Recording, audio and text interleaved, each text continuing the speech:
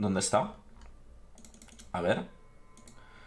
Acaba de publicar Don Johan Anderson, presidente de Paradox Tinto, o como se diga, Studio Manager, acaba de publicar las notas del parche de la versión 1.32. Este parche, que se llama Songhai, ha sido bastante, bastante hipeado por parte de los creadores de la gente de Paradox Tinto, porque si recordamos eh, claramente, eh, digo esto todos los días, pero quiero recordarlo, ¿vale? Por si alguien no se ha enterado, en plan...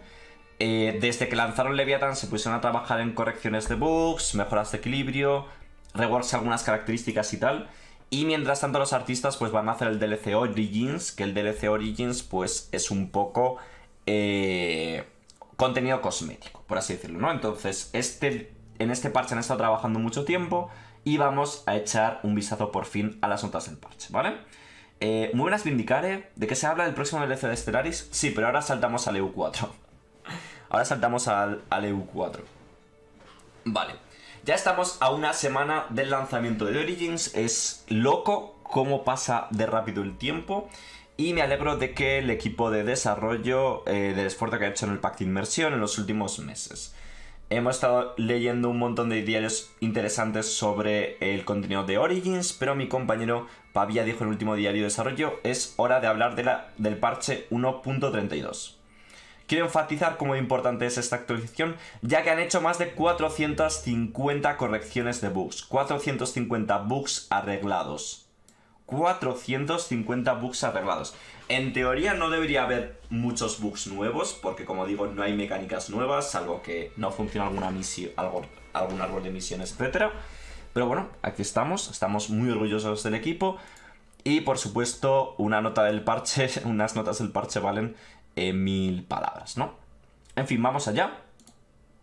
Bueno.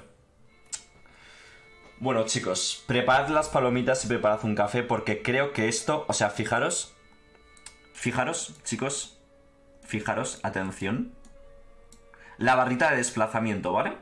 Fijaros en la barrita de desplazamiento, chicos. La estáis viendo, ¿no? En cuanto le a ampliar las notas del parche... Emociona. Emociona, chicos. Se, hace, se volvió chiquitita. En fin, características de la expansión. Esto va a ser parte del DLC de pago. Esto va a ser parte del DLC de pago. Es decir, que cuesta 10 euros, si no me equivoco. Nuevo árbol de misiones para Mali, Songhai, Holov, países de cultura Mosi, países de cultura Hausa, perdón, Oyo, Congo, Etiopía, Adara, Yuran, Kilwa, Mutapa, eh, misiones para África Occidental, África Central, Cuerno de África y África Oriental. Mecánicas y eventos de sabor para el judaísmo.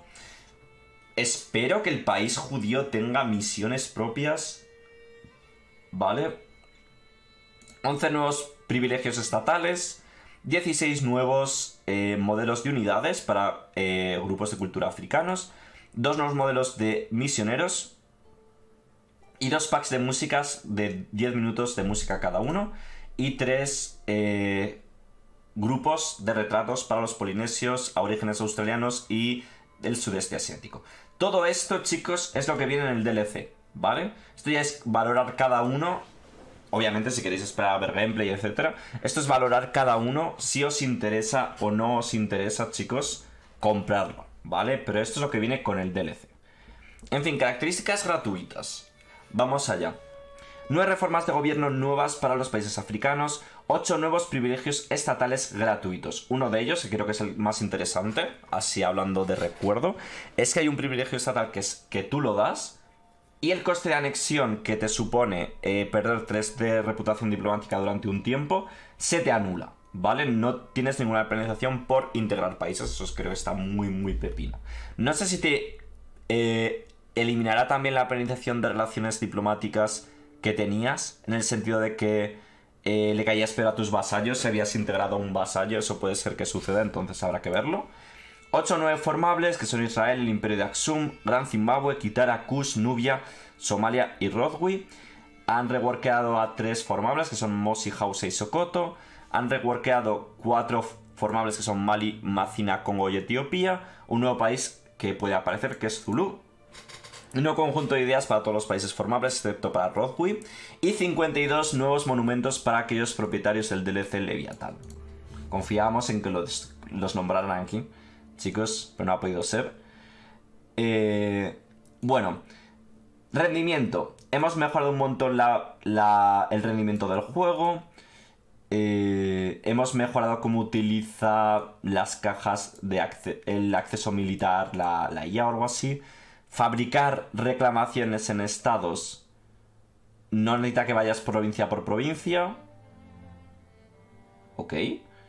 Eh, vale.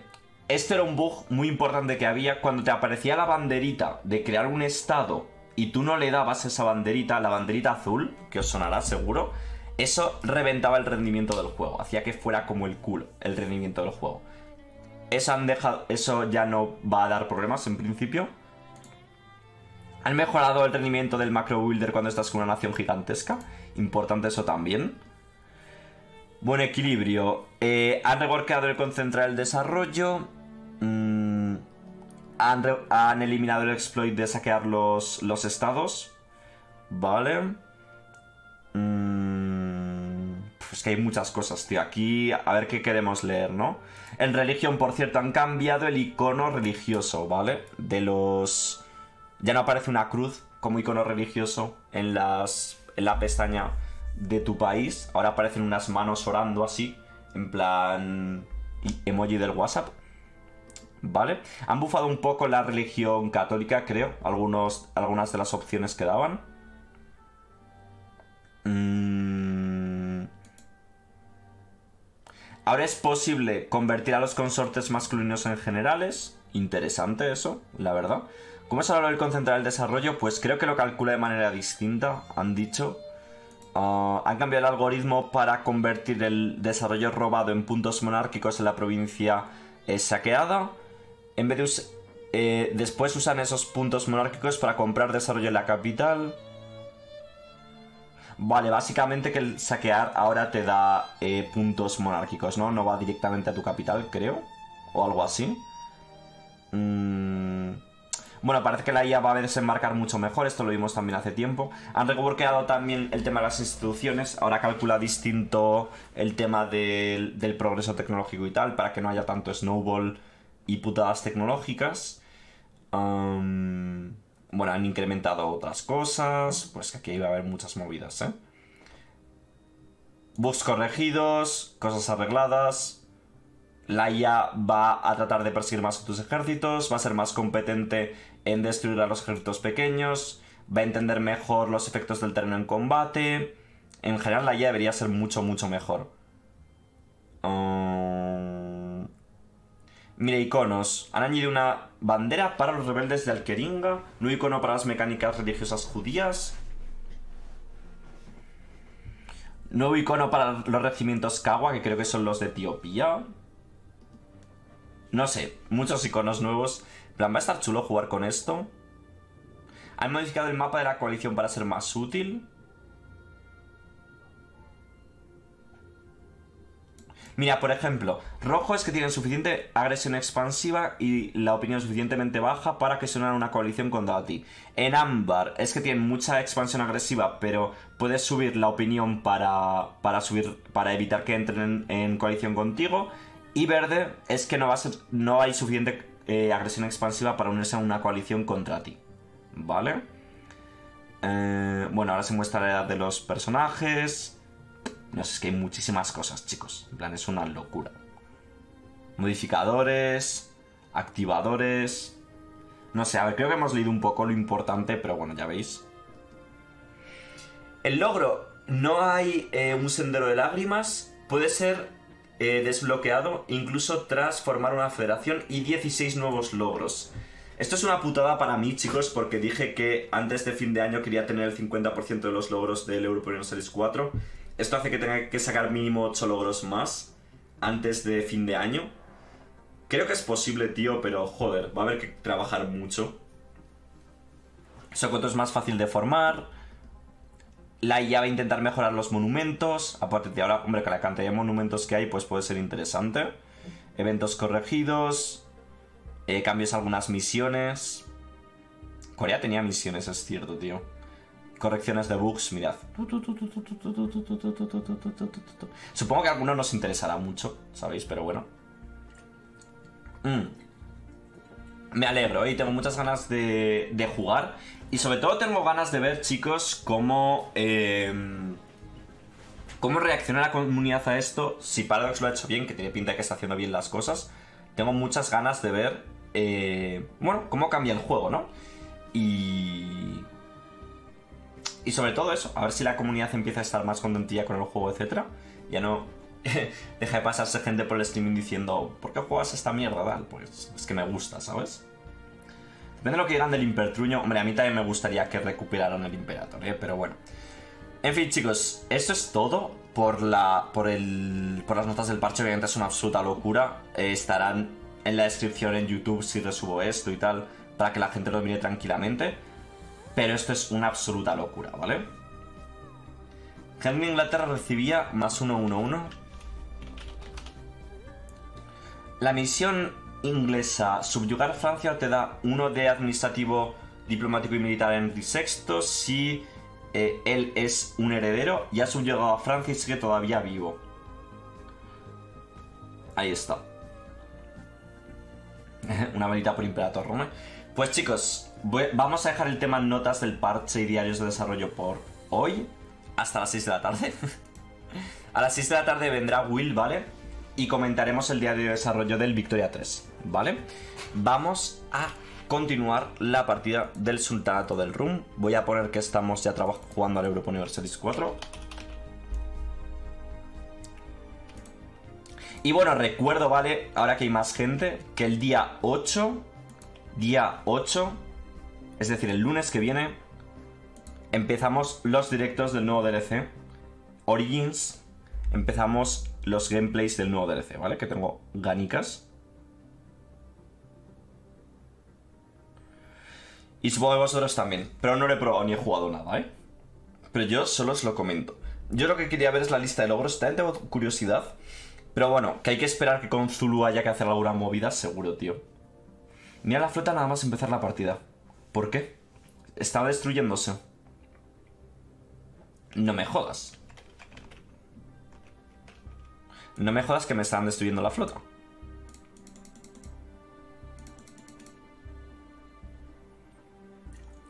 Mm. Vale, pues gracias por decírmelo, tío, porque así podremos evitar que nos la destruyan. En principio, estoy cargando el juego, ¿vale? Pensaba que lo había cargado, chicos. Pero a veces uno no está en sus mejores condiciones. Supongo que el martes que viene revelarán los logros. Si juego con otomanos y me como a Bizancio, ¿lo puedo liberar como base y jugar con él? Mm. Supongo. Supongo que sí, tío. Vale, chicos, un poco de epílogo.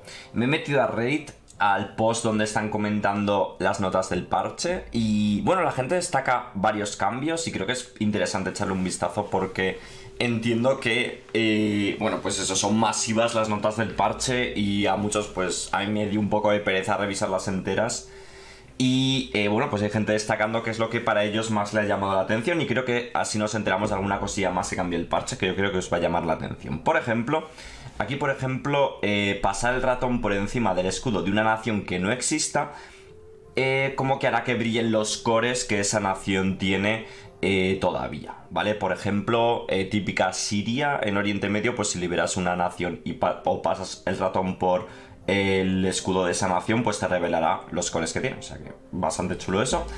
Y las hordas ya no van a conseguir penetraciones de terreno que no sea llanura cuando ataquen en sabana.